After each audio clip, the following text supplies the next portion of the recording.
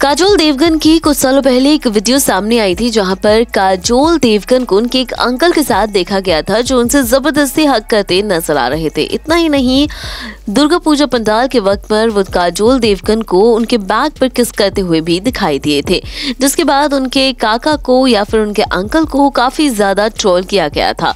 बता दें कि एक बार फिर से यही सेम अंकल क्यारा आडवाणी को हक करते नज़र आ रही हैं, जिसमें एक्ट्रेस काजोल देवगन के अंकल को काफ़ी ज़्यादा ट्रोल किया जा रहा है और इसके पीछे की वजह बताई जा रही है कि हमेशा ही हर एक अभिनेत्री के साथ इस तरह की हरकतें करते हैं और काफ़ी अनकंफर्टेबल फील भी करवाते हैं। यहाँ पर आप देखिए क्यारा आडवाणी काफ़ी शानदार अंदाज में पहुँची, लेकिन क्यारा आडवाणी को जिस अंदाज में अंकल जी ने हक किया, वो देखने के बाद फैंस ने उन्हें ट्रोल कर दिया। वो जानबूझकर क्यारा को अनकंफर्टेबल फील करवा रहे थे।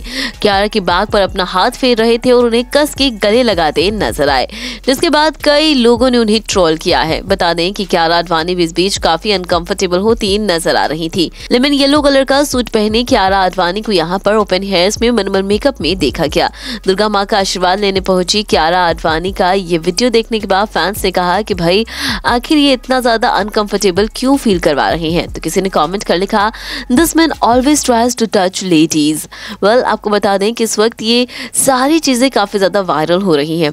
एक यूज़र ने कमेंट कर लिखा महेश भट्ट तो बस यूँ ही बदनाम है। तो किसी ने ये कहा I felt his hug was weird too well आप क्या कहेंगे कियारा आडवाणी और अंकल के इस हक पर कॉमेंट करके अपनी राय हमें ज़रूर बताएँ।